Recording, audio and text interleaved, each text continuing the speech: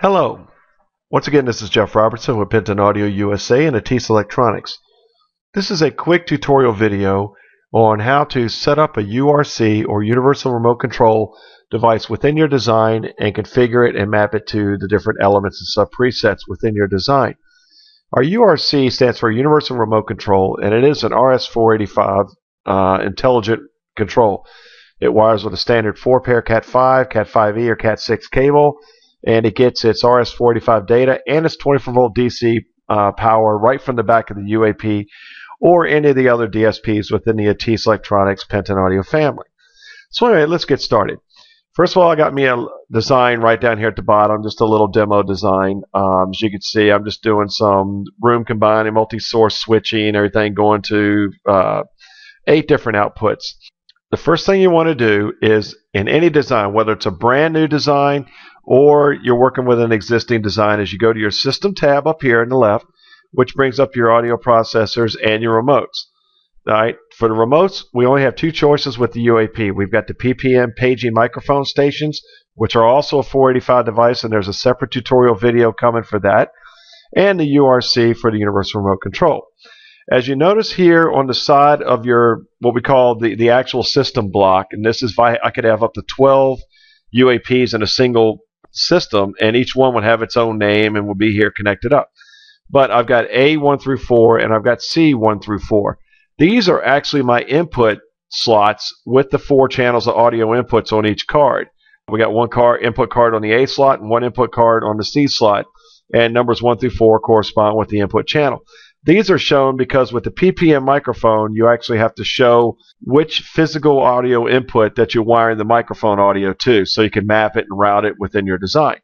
But we're only concerned with the communications port, which stands for the RS-45 communications. The URC we just drag in, and you notice no matter where I put it anywhere on here, it already highlights the C port. I, there's no audio associated with it, so I don't even get an option here. So I just drag it, let go of it, and there you go. It automatically connects it to the communications port. I could drag more URCs into the design, and it will just daisy chain them, but it's just showing them linked to the system. So I will highlight these because I only have one connected to my demo here. And we have one. I can double click on it. It brings up all my different ones, but as you can see, I don't see one here. I can't get to it. I can't do anything. Um, even when I search for it, you know, I don't see it here. So what we need to do is we need to actually connect this software wise to the system so I link it to which box it's physically connected. Because like I said, you could have 12 boxes. So I got to tell it, hey, there's a URC out there. Let's go find its serial number and let's connect you up. One quick note. Every single RS485 device that, that works with all our DSPs will have a serial number. It'll be on a sticker on the bottom or the back side um, of the device. This serial number, you do not have to memorize it, so you have to enter it in anywhere. All you have to know is when it searches for it and it finds it, you know which serial numbers are in which locations, so you can customize the label so you know exactly which one you're talking about. Okay, so the first thing we have to do is go search for all the remotes that are in the system and link them up to the box software-wise. So the only way I can do that is to actually be connected to the system. So I'm going to establish my Ethernet link. I'm going to do my quick search, which I do. Even if I know all my connections are right, I still do a quick search to make sure it finds the machine I want to talk to. All right, there's our machine. Highlight it, say connect, and we're all connected up. Everything's fine and we should be good to go. Now I'm talking. So first thing I want to do, go to view and let's go to remote list. Now from the remote list, I can search for PPMs or URCs. I'm searching for URCs. We are going to do a search. It pulls up my internal search window and I say search.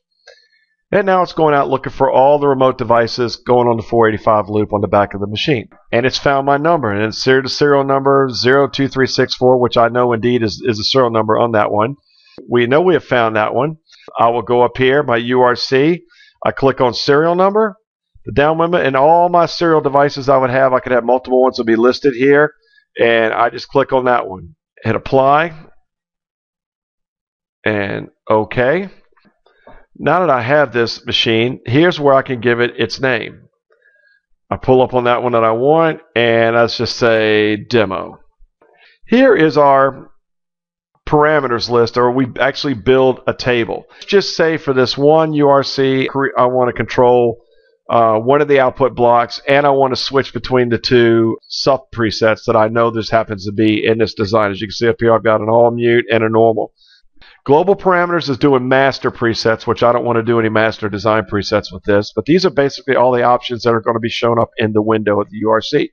I'm going to click on sub preset, and we're going to add. So I got one, two, three, four volume controls that I know I want to put in, and we'll do two sub presets. The first thing we're going to have here is the first one. I'm going to say normal preset.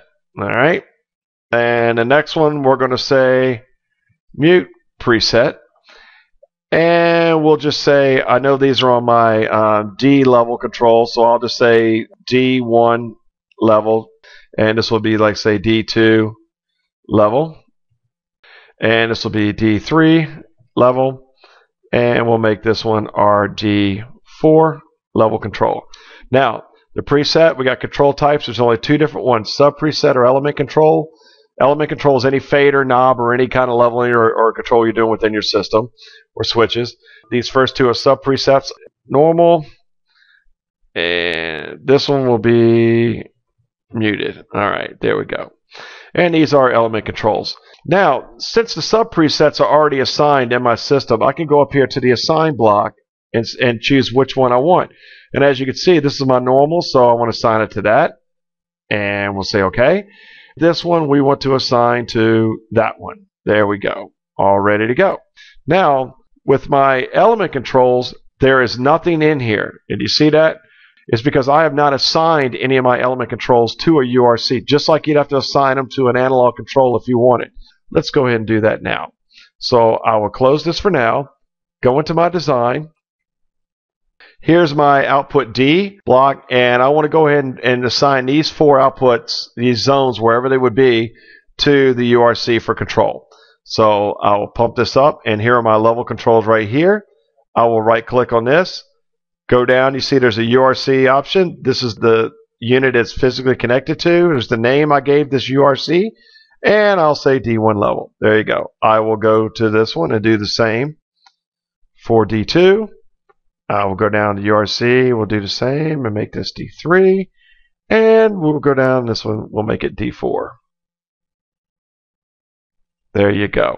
Now I've, I've mapped all four of these to the URC. Now if we want to go back and just double check, because once it's mapped, it's already there. I will go to this, open this up.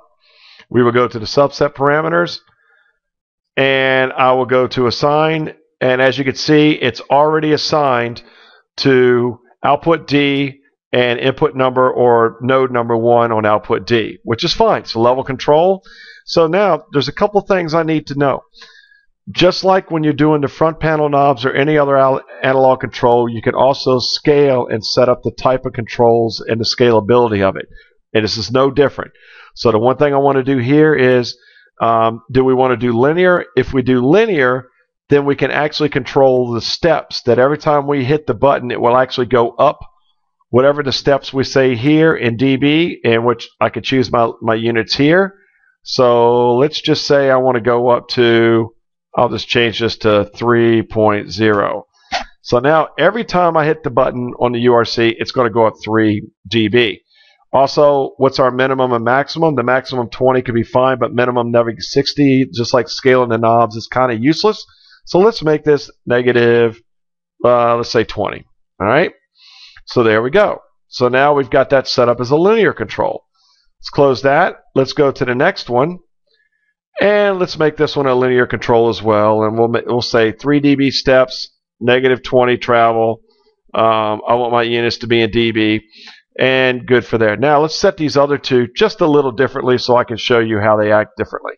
Uh, let's make this a logarithmic control, and we still give it a scale because we want to know what the minimum maximum they can do. But as you notice, when I do logarithmic control, there is no steps in here.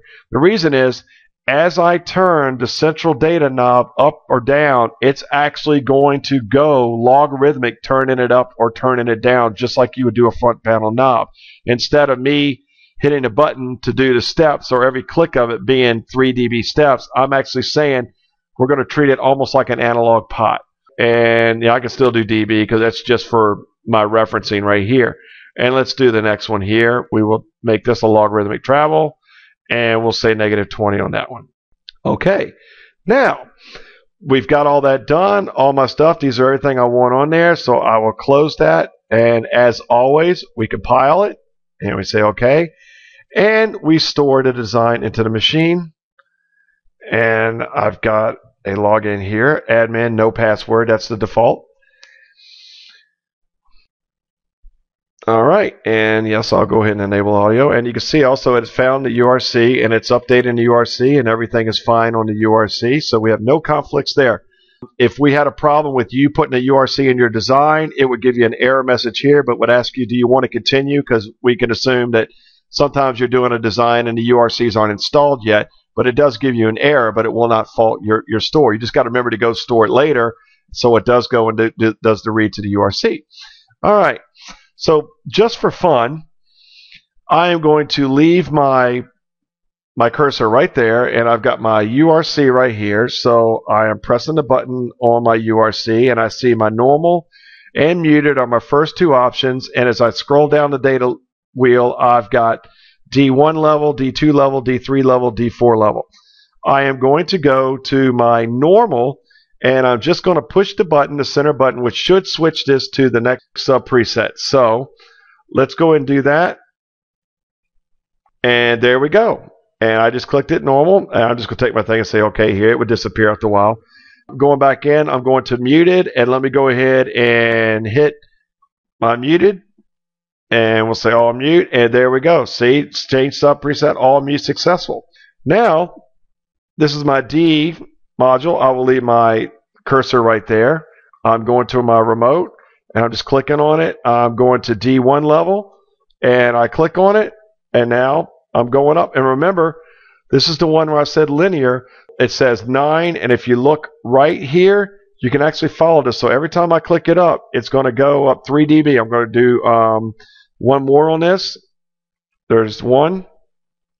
And we'll do another. There's 18. I'll do another. Oh, that's as high because remember I said 20 is the highest one? There you go. I just backed it up and then went up again. If I start going down, it goes to 17, 14, 11, 8, 5, 2, negative 4, all the way down. And I turned it all the way down to negative 20. So that's the lowest that I've set it. Let me go out and let's go look at, let's do D3 here. So I'm going to click on it and I'm going to jog down to the D3 level, enter that. Now these are logarithmic. So now as I go up, see it's like 3.9, 7.2, 9.8, 12.6. It's going in a logarithmic fashion. It still will not go any higher. Actually, logarithmic 19.8 as high as I can go. I'm turning it all the way down here, and I go down to negative 20. But you can see the difference in the travel. It's actually logarithmic 3.9, 7.2, 9.8, 12.6, not the 3 dB steps. That is how you set up your URC within your design and actually map it to either an element control or a sub preset control. So if you have any questions whatsoever, please make sure you go to our website at penton-usa.com. And as always, thank you very much and have a terrific day.